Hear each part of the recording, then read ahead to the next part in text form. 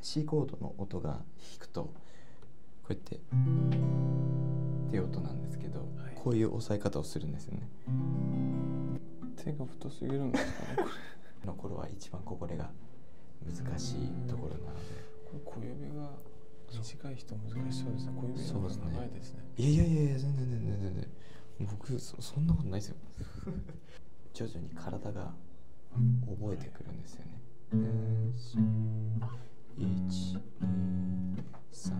1234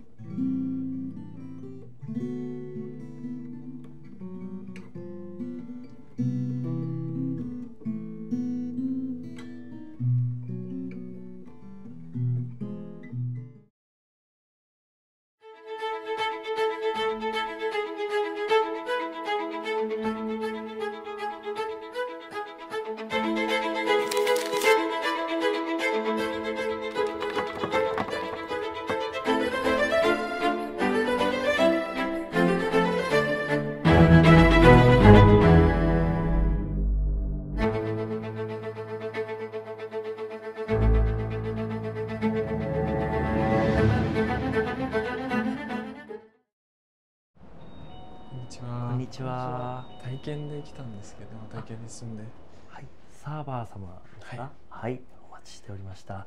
じゃあ靴脱いでお上がりください。はい。どうぞ。ありがとうございます。はい、じゃあ僕ご案内します。はい。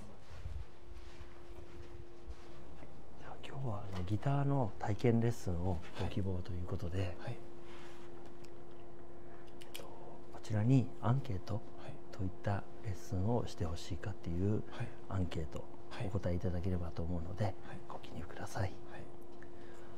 お水あの常温と冷たいのとありますけどどちらがよろしいですか？えっと暖かいので。暖かいのではい。はい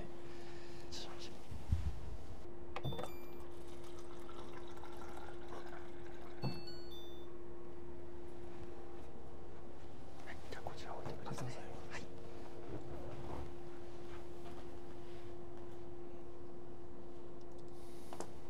はいありがとうご記ございます入ありがとうございますあ SNS を見て来ていただいたんですね。はい。ありがとうございます。えっと楽音楽のレッスンは初めてはい。受けられる未経験ということなんですけど、はい。あのうち未経験の方すごく多いので、ああの初めて始められた方でもはい。弾けるようになってるので、はい。安心してあの受けていただければと思います。はい。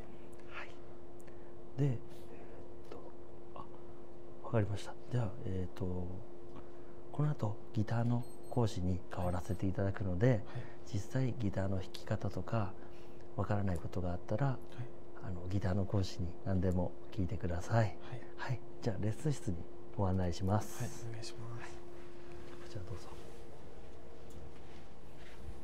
それではこれからギターの先生をご紹介するので、はい少々お待ちください。はい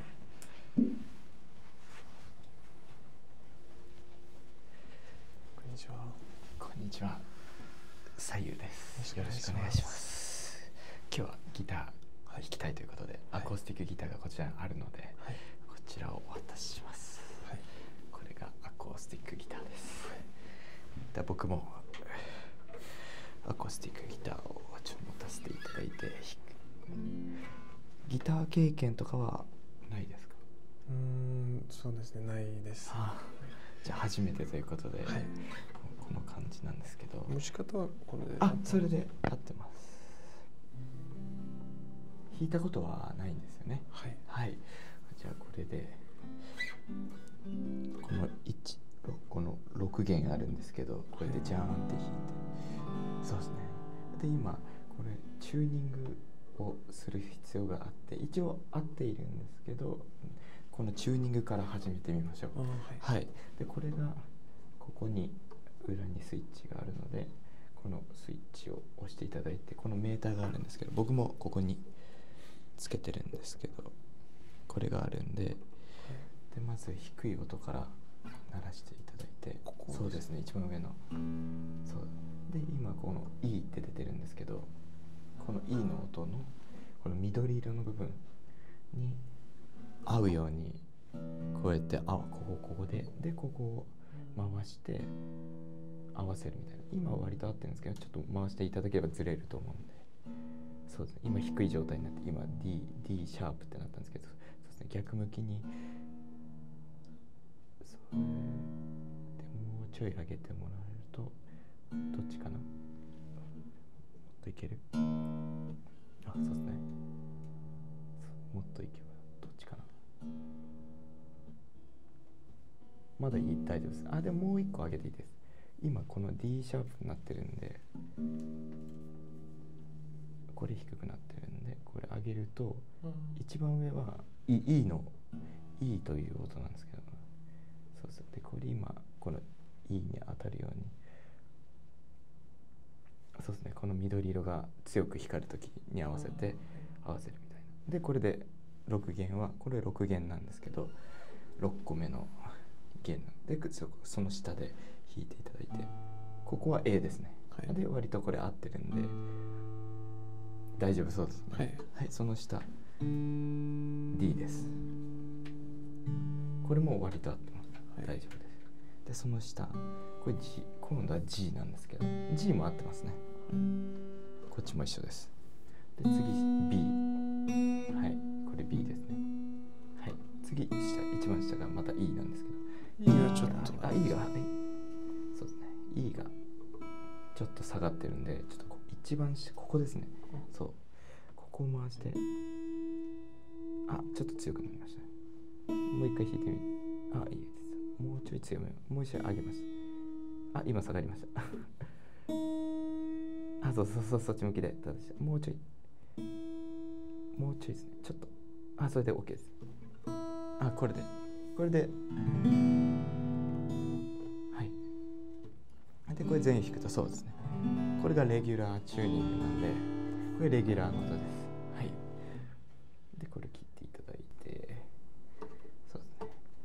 アコギこうやってアコギ基本的に歌と一緒に弾いたりとかが多いんですけど、こうやってまず最初の方だとコード？はい。こういう C コード D コードっていうこの音の和音があるんですけど、はい。これででこういうある程度形があってそれをまず覚えなきゃいけないんですけど、まあ普通に単体でギターで弾くこともできてはい。こういう。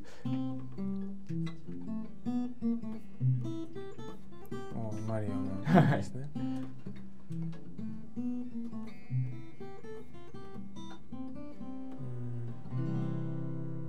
っていうマリオみたいのもこういうアコギ一本ではい。表現できたりもするんですけど、はい。これはいきなりやると難しい。そうですね。難しいのでまずその形こういうコードとかこうやってこれいうコードが弾けるようになれば歌えるようにも歌弾きながら歌ったりとかもできるようになるのではいまずアコースティックギターを持っていただいた方にはまずコードを覚えてもらうことになります、まず C コードっていうのがあるんですけど C コードの音が弾くとこうやってっていう音なんですけど、はい。こういう押さえ方をするんですよね。で、えーこれがそうするとねこれでまずあここまずここを押さえてはい、でこれ中指がこもう一個ここですね。はいそうです。で最後ここですね。それで一回鳴らしてみてください。あー結構鳴りますねでも。そう。で割とそうここそう。ここがもうちょい立てられればそう他の弦に重ならない当たらないように、うん。そう。そうこれが C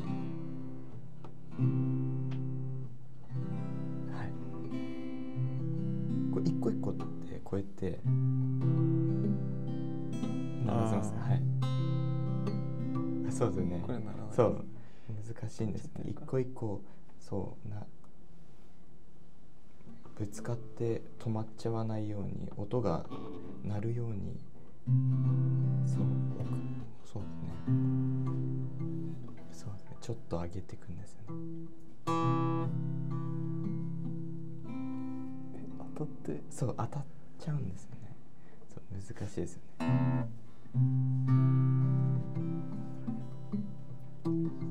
はい。でここでそうです多分ここがね難しいんですよね。そう。あでもなりますよね。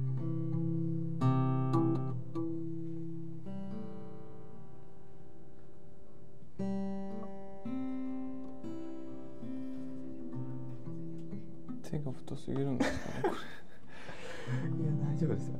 もうもうちょっと手をこうこうこういきます。あそうそうそうですね。あでも手がでかいからいいと思いますよ。なんか本当にギター弾く人は手でかくて手がでかい方がいいんだよね。そう。まそう。これが C ですね。そう。この形が C 次に今度は D の音っていうのがあるんですけどはい。今度 D はっていうこの基本的にです。で D の押さえ方が人差し指がまずここです。はい。で次に次の指がまた同じ場所なんですけどの一番下。そうです。で次薬指がそうそうです一個一個押さえていくんですね。これはこれもっとやばい。そうここがねぶつからないようにしないといけないんですよね。ここの音を一番下の音をこの指で止めないように。でた正しく。あそうですね。一本一本鳴らすと。プップならないか難しいですよね。このままあここれ4そうですね。番目ですよここでそうそこ。あいや。三番。えーとそうそうそうそう。3番目の。これでなるんですけどこれ。あ。あそうそう。ここがねぶ多分ぶつかっちゃうんですよね。そう。ぶつかっちゃう。そう。でそうすると割と立ててあげて。そう。そう。指を立ててあげて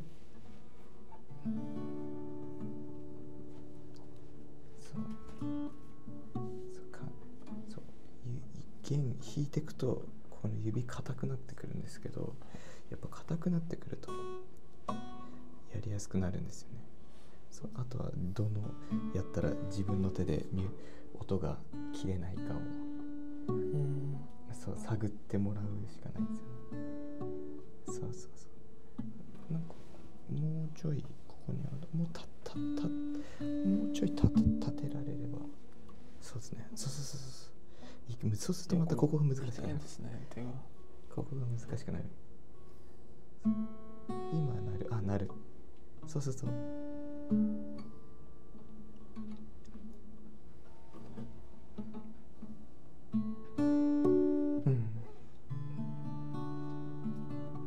そうですね。やっぱそこ一番下が難しいですよね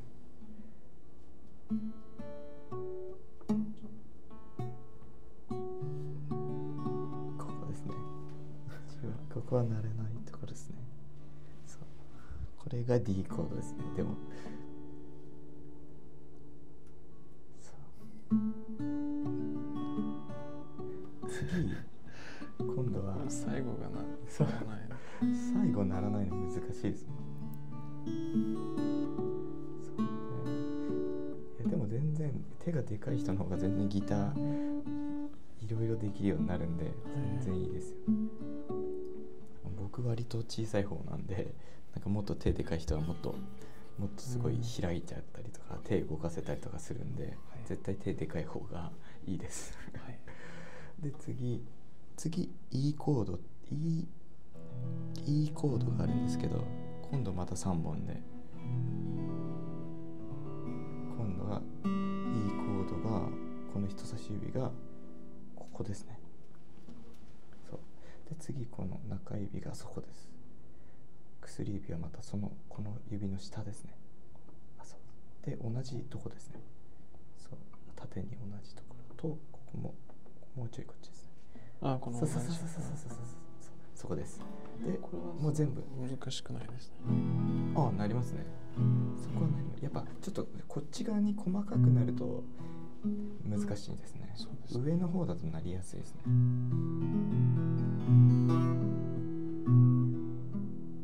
いいコードなんですけどこうやってまず弾いてこうやって。ああいいですね。そうです。ひ下の方がならないから多分あんまりそうですね。他の指で押さえちゃってるんですね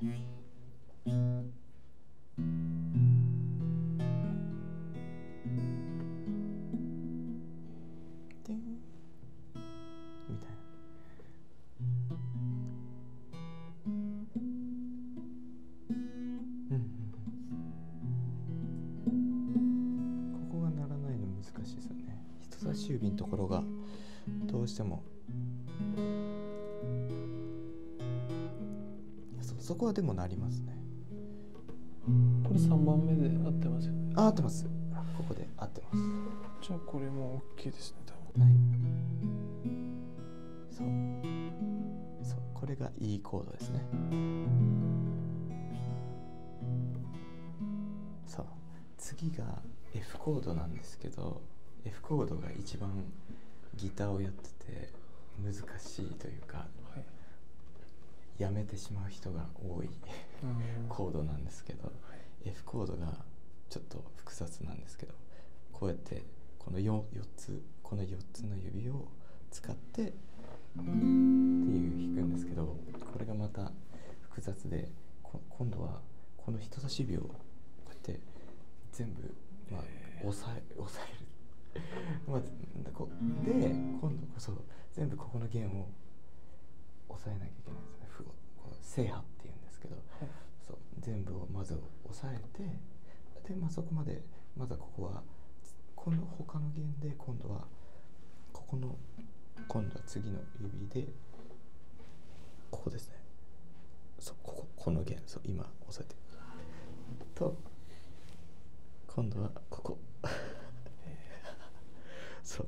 ここです。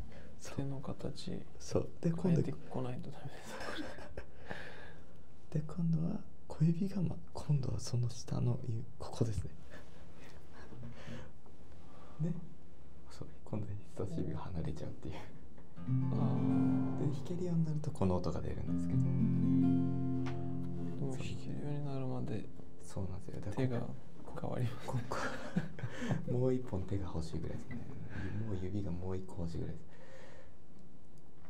す。そうなんです。いやこうですね。あそうそうです。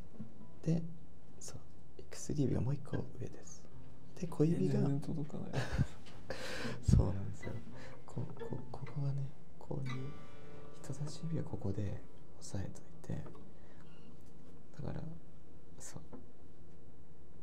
でここあもう一個しますすいませんでこっちで今度こ多分手がもうちょいこっちに行けばいいんです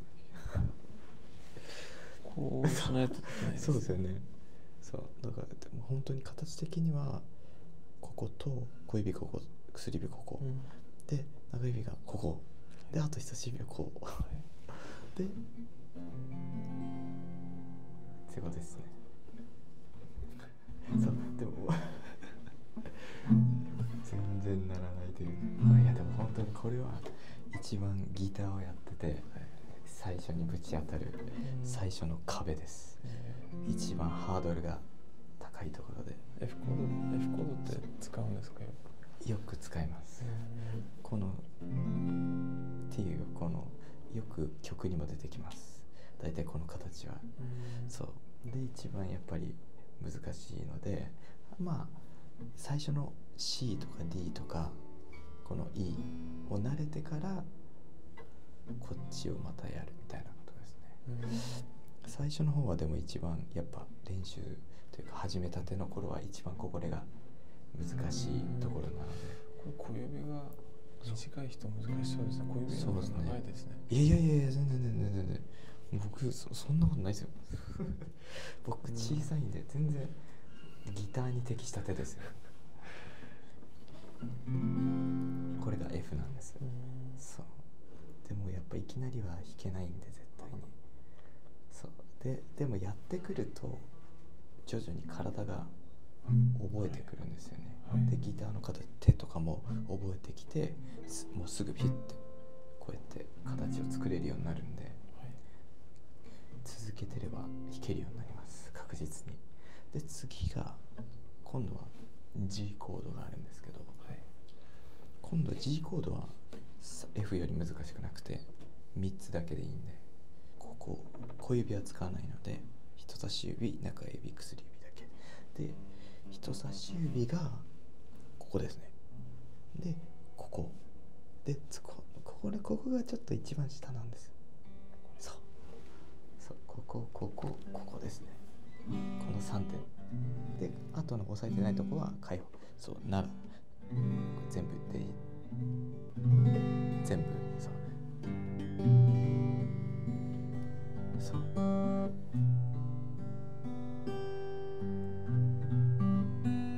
あでもなりますね。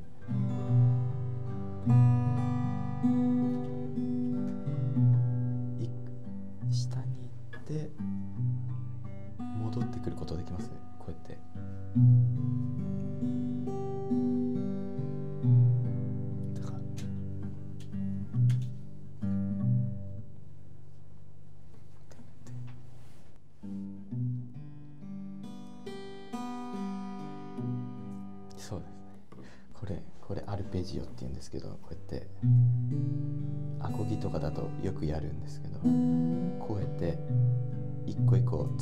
音を切らずに他の弦を弾いてこれを流すのが結構アコギでよくやります。コードを押さえてアコギそうですね。このギターだといいい音がそういうのが特徴的ないい音が出せます、こういうの。でこれが G コードですね。次に A コードがあって A はなんですけど今度は人差し指ここで全部一緒の列ですね。で次ここの薬指もここ。そう。全部。割と強く押さえてもいいかもしれないですね。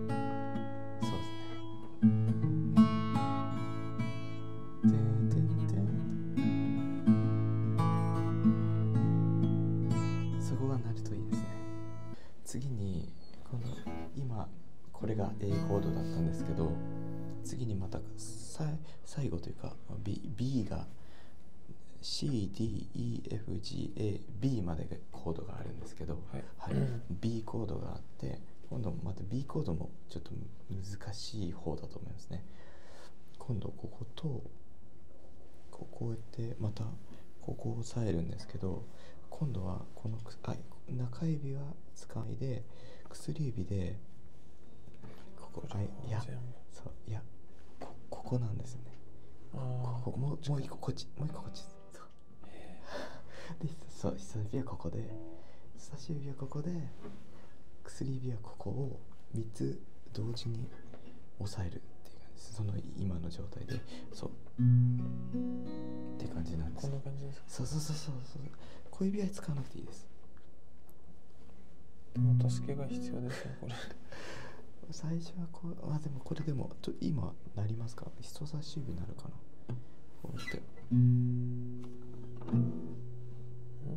そう。ここですね。こう人差し指ここです。そうそうそうそこのとこですね。あそうなりなりますね。で次に薬指で今度そのあちょっと上触れてるんでそうそう下の方ですね。そうそう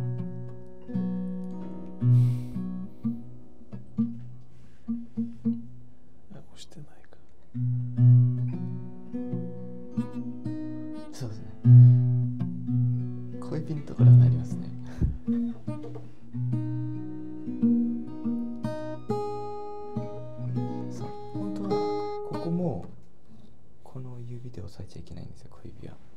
こう人差し指でだからさっきみたいな F みたいな感じで人差し指はここを全部押さえてこうやって。ああ本当は本当は人差し指をこうやってやるんですよ。そう。本当はやらなきゃいけない。で薬指でこの3本を押さえてみたいな。そう。難しいですよね。これが B この B も割と難しく方ですね。弾きづらいコードだと思います。はい。で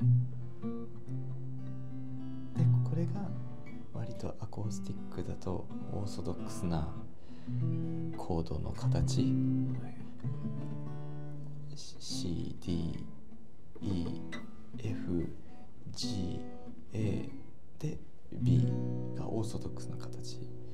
うん。で、まあ、これをできるようになるともう曲は大大抵の曲はこうやってジャカジャカやりながらとか声弾きながら歌ったりできるようになります。はい、じゃあ今こうやって C コード D コード E コード F G A B とやってきたんですけどやっぱこうやっていきなりやるのすごく難しいので、そその時になんか有名な映画の「スタンド・バイ・ミー」っていう映画で使使われてる曲があってそれでアコギで弾きやすいフレーズがあるので、はい。それを多分ここの時間で覚えられるかもしれないので、はい。ちょっとやってまずこはい。うやって、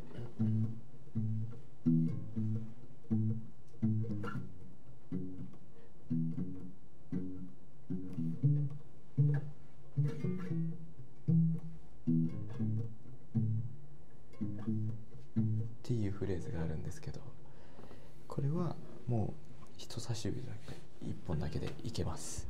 えそんな複雑に薬指とかこうやってやんなくてもいいし、はい。しかも右手も親指だけでもいいしだから全然まず今っていうのがここ人差し指だったり。まあ人差し指でいいです。どの指でもいいんですけど1本だけなんで。はい。でも人差し指でとりあえずでここのここがこれ6弦なんですけど、はい。のここ。5フレットっていうんですけどそう。ここが51235の5フレットがなんですけどでこのこここことメインはこことあとここ。次が割と3ですかそう。あいや2ですね。あここですね。そうドゥドゥで次が2そうそう。で2でででで次がまた今度下なんですよこの4ここが5弦のこれが5弦の5フレット、そうです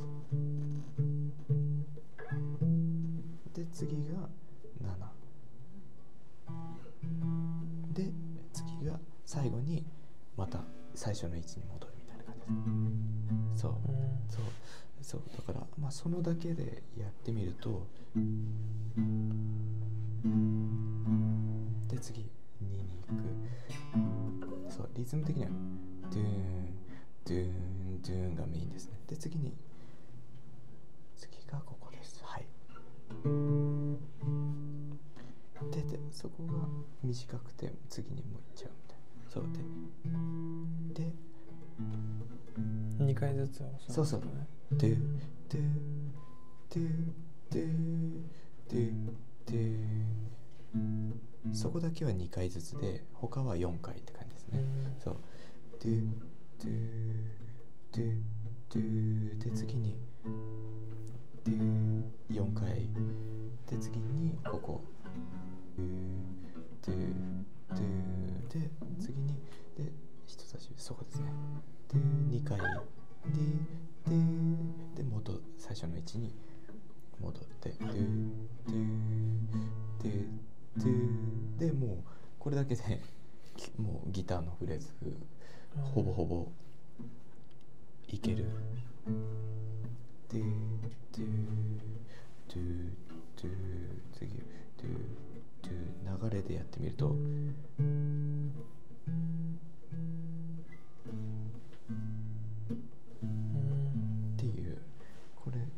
ってみますか。はい。それで4回4回そうでね。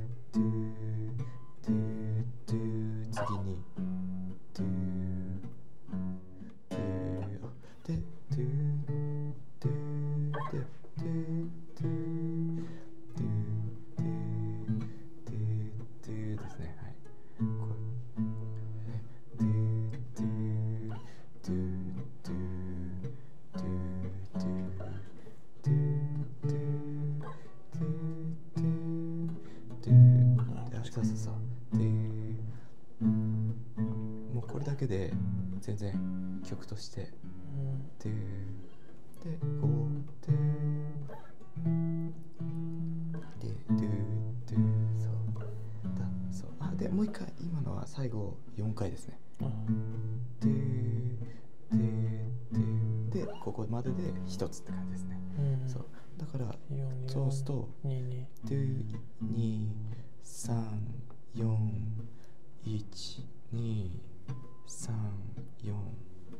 12121234っていう感じでこれで1個ってでまた最初に戻るとまた同じ音から始まるって感じですね。はい、そうでこれまずこうやってやってみますかそのもう一回。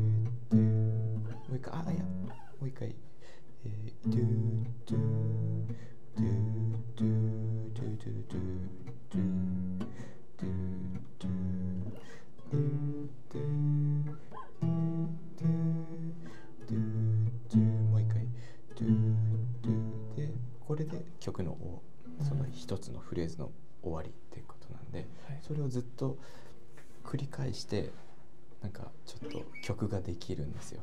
なんかサーバーさんに今のをずっと弾いてもらって繰り返し、はい、そう。で僕がこうやってちょっとフレーズを乗せることもできる、えー、ちょっと一回やってみますか。はい。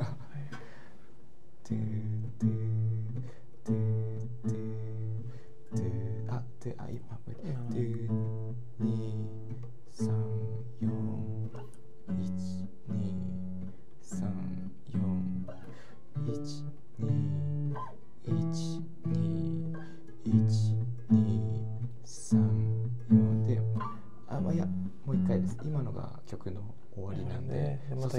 そうそう同じ場所で一二ってなるんですね。でここ終わったら8回やるそうそうそういうことですそういうことです。繰り返すってことは。二二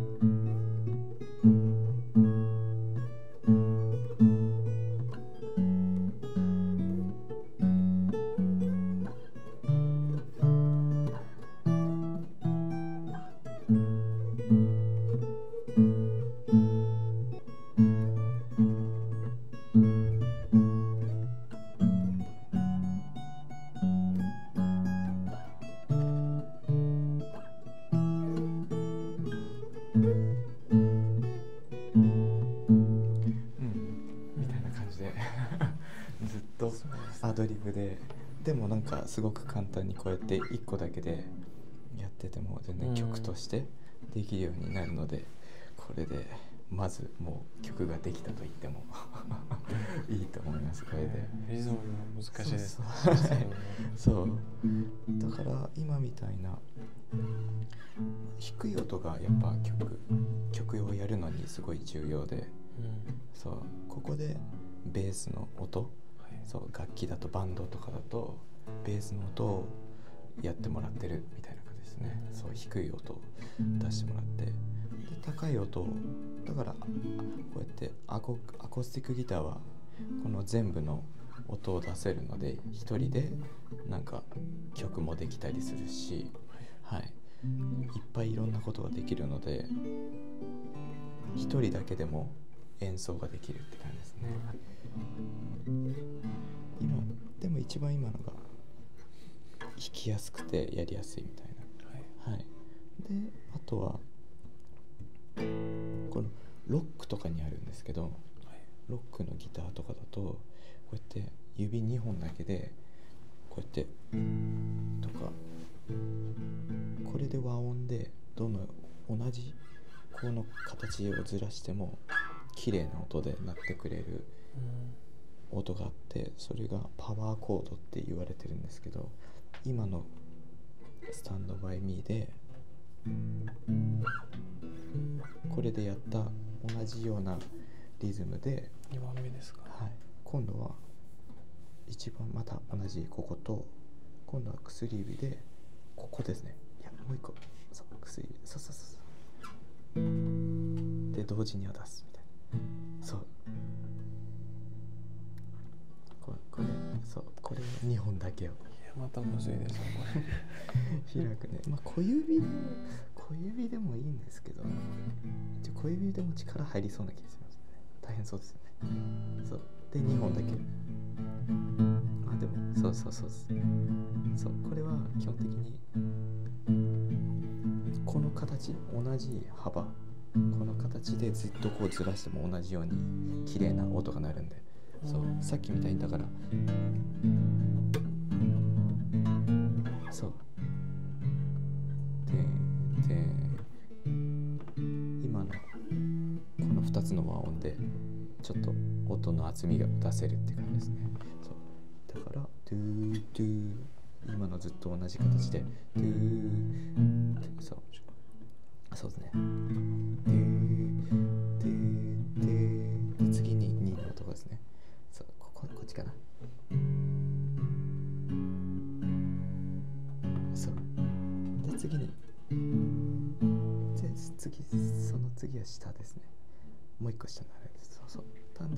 らせばそう。そう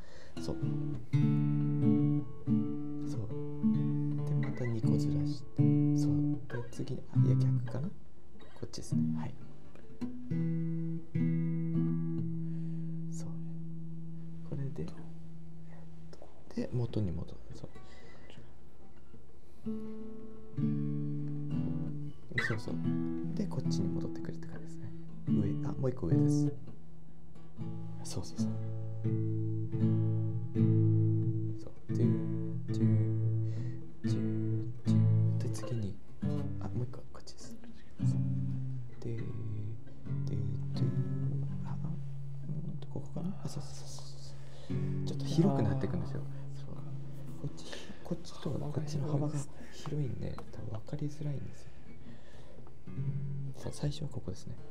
ここここ。この5フレットとここが7フレット。そうですね。5弦の7フレットですね。次。そう。そう。でで次に。そう。であいやもう一個。こっちがあいやこっちは合ってます。これ人差し指当てて薬指がここ。ここであそう。で次に2個ずらして。そうそうそうそう。で戻最初の位置に戻ると。そうそう。そうでこうやって、ね、ある意味これもコードなんで。はい。そうすごい2本しか使わないコードなんでうん。これをどんどん使っこれがでまた次に今最初は1本だけだったんですけど日本の方が元もリッチに。なりますそうそう。あ音に幅がどんどん幅が出てくるんで、そうかさどんどん重ねてくると音の感じが変わちょっとおしゃれな感じとかもふてふえ音をふ指が増えてくるとはい出せるようになるって感じですね、で指今10本欲しいです。できれば。全然できる限りながら何本でも。そう。ででつってでででこうでででそうさっきみたいな感じでそうずっとこうそうそうそうそうその形でででででで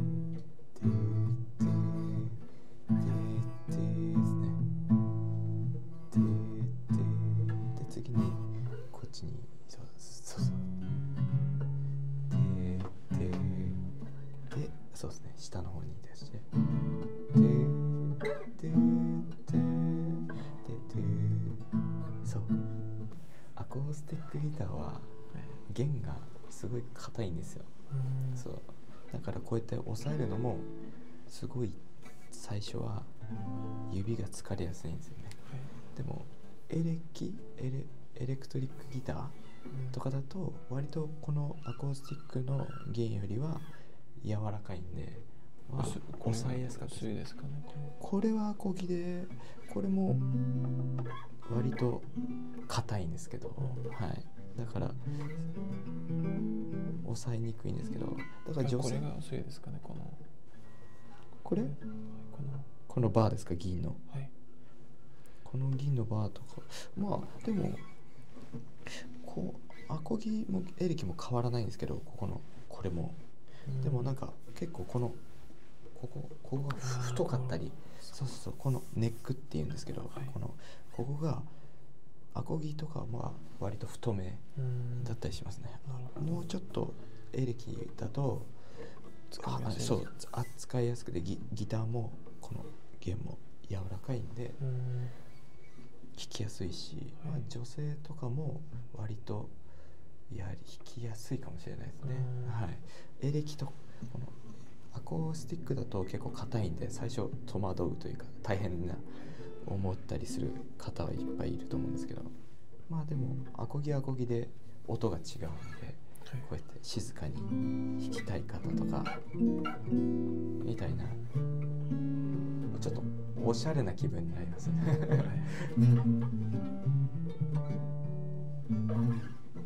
でもこうやって静かな気持ちになったりするのでアコギはアコギですごくいい楽器で、はい。はい、先生にちょっと弾いていただきたいんですけども、あはい。はいいいですよ。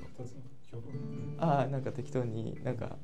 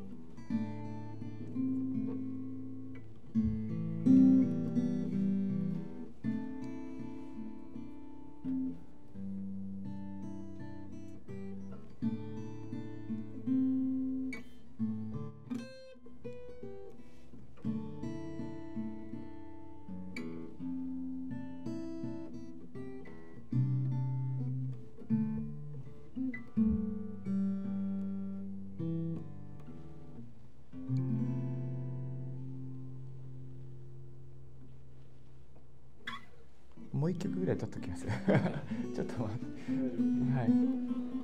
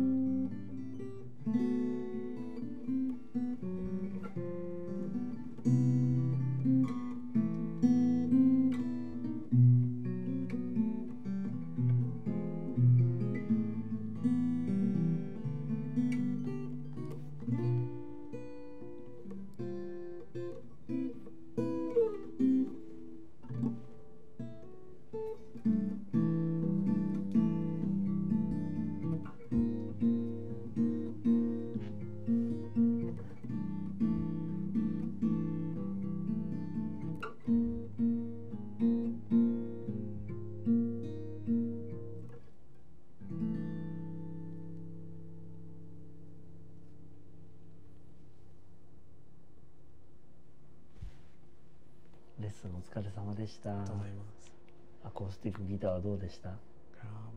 もっとより難しいですね。あ本当に難しい。あの弦が硬いから最初は弾けないんですけど、はい。あのさっき西遊先生が説明してたみたいに、はい。なんか一本だけで押さえるとか、はい。えーこうあの伴奏とはい。メロディーを弾くとか、はい。一緒に弾いたりするとはい。結構いろんな弾き方ができるんで、意外とあのバリエーションがあってあの難易度もいろいろあるのでゆっくり弾けるようになると思います。はい、じゃあ教室の説明をさせていただきたいんですがこちらがパンフレットになります。うちの教室のホームページとかって見られましたか？はいあありがとうございます。でホームページに書かれているようなことではあるんですけれども一応説明させていただきますと今日受けていただいたギターのレッスン以外に歌とかボイストレーニングえー話し方のボイストレーニングっていう枠のボーカルレッスンコースボーカル声のコースがあります。と今受けていただいたギターのレッスン。でギターのレッスンは今アコースティックギター弾いていただいたと思うんですけどあのその他にもエレキギター今教室に飾ってあるようなエレキギターであったりベースとかあとはあのそちらにあるウクレレもこちら習うことができます。で通っていただくとあ時は、えーアコースティックギターで通い始めても途中でエレキギターの始めたいなっていうんだったらエレキギターに変えることもできます。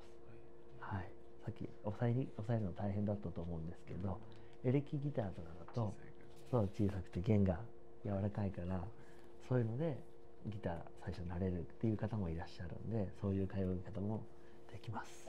はい、で、えー、とうちの生徒さんが、えー通っていただくとこういった特典があります。まずレッスンに使用する楽器は無料でお貸ししてます。えー今習ってたギターアコースティックギター。なので仕事のお仕事の帰りとか学校の帰りとかに手ぶらな楽器持ってこなくても教室にあるギターでレッスンが受けられるんで何にも持ってこなくて大丈夫。はい、で合わせてレッスンルームも無料で使用ができるっていうのが部屋が3つあるんですけどレッスンに使ってない部屋は、えー無料で練習で使っていただいていいです。あの家とかで弾けない大きい音で夜は深夜は弾けないっていう方とかいらっしゃるんでうちだと防音室音が漏れないようになってるので思いっきり弾けますからそういった練習で使っていただいてもこちらも無料で生徒さんにはお貸ししてます、はい、あとレッスンの振り替えができます。振り替えっていうのは、えー、と前の日の夜10時まで前の日の営業時間内に、えー LINE とかメールとか電話とかで、えー、と連絡をいただければ、えーレッスンをい入れてた予定都合が悪くなった場合に他の日に変更っていうのができます。はい、で当日の振り替えも1回月に1回はできるんですね。あの風邪ひいてしまったとか体調が悪いとか休養ができたっていう時も当日も連絡をいただければ月に1回はえー他の日に変更することができます。うん。はい。いいですね。はい、あと,、えー、と発表会っていうのが、えー、とこういったものですね。次の予定もあるんですけど生徒さんたちが練習した成果を発表するステージの場を設けてるのでそういった演奏の場が年に何回かあります。とか交流会。こちらですね。ここにいる生徒さんたちでここで集まって先生たちとまあ音楽の話ができたり一緒にお酒を飲んだりとかうん。するような会があります。これはこういったのも参加することができるので、えー楽しそうですね。はい、もし興味あればはい。遊びに来ていただければと思います。はい。はい、でこちらがレッスンのコースになるんですけれどもはい月4回と3回と2回であの月に何回通いたいかで選んで、えー通っていただいています。はい。はい、説明は以上になるんですけど何かご質問とかはありますか？えっと特にないです。大丈夫ですか、はい。であれば説明、えー教室の説明は以上になります、えっと、もしあのよろしければ引き続きまたあの今日は体験レッスンだったんですけれどもあの引き続き通っていただければと思うんですけれどももしあの通っていただけるようであれば入会の手続きの方をさせていただきますけれどもいかがですか？あぜひあのギター弾けるようになりたいので今日できれば入会してありがとうございます。では、えー、と手続きご入会の方に進ませていただきます。こちらスマートフォン、携帯電話で QR コードを読んでいただくと、はい。お名前とか入れる欄がありますので、はいそちらで、えー、と生徒登録を行っていただくようなはい流れになります。はい、